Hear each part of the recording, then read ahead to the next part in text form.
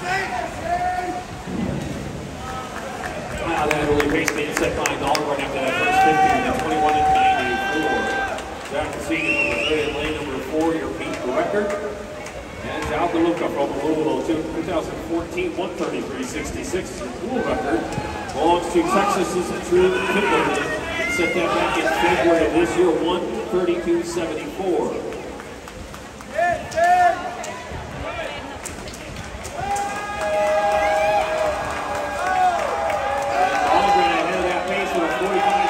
45.62 at that halfway point, and he has the lead coming up and out of that bar turn.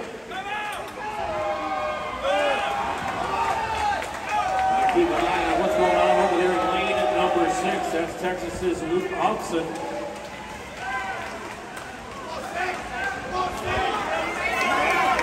Hobson got a body length of trail right now. Her going to final turn for her turn.